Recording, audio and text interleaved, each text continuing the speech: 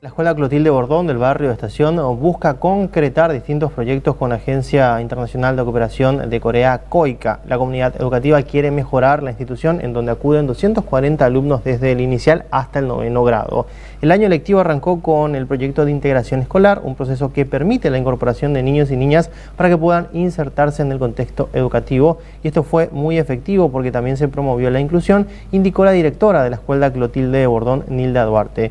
Si bien la institución educativa tiene sus necesidades, todas se gestionan con el esfuerzo y acompañamiento del plantel educativo y este año se va a buscar lograr cada objetivo e ir avanzando hacia otros planes que benefician a los alumnos, detalló también la directora.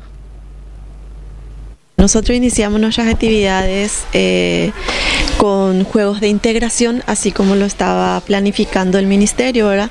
que eran desde el día 23 de febrero hasta el 28, 29 eh, de febrero que culminaban las actividades de integración. Eh, eso consistía en realizar juegos a primera hora, como se dice, aprender jugando, ¿verdad? Esa era la temática que tuvimos durante toda una semana.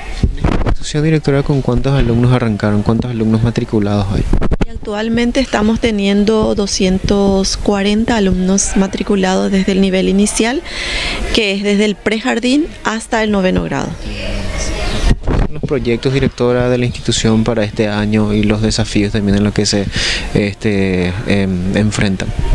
Y nuestros proyectos, eh, ejecutar el PEI de la institución, llevar adelante los microproyectos institucionales, ¿verdad? Que son eh, la escuela cuenta su historia, eh, después tenemos también los proyectos de ciencias, eh, los proyectos de lectura. Este año implementamos el proyecto ñer, el programa ñer, que es un programa que está vigente desde el ministerio y muchos otros verdad que tenemos en aulas alumnos directores, la mayoría volvieron a reincorporarse, hay alumnos nuevos. Tenemos alumnos nuevos, tenemos alumnos que se fueron a otras instituciones.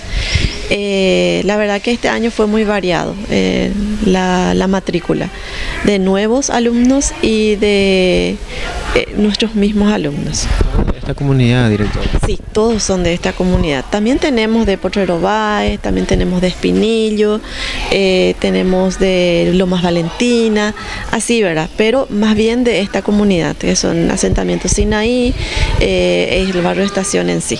En términos generales, eh, tuvieron un inicio, año lectivo, bien podríamos decir, director. Muy lindo el año lectivo. Iniciamos con nuestros niños.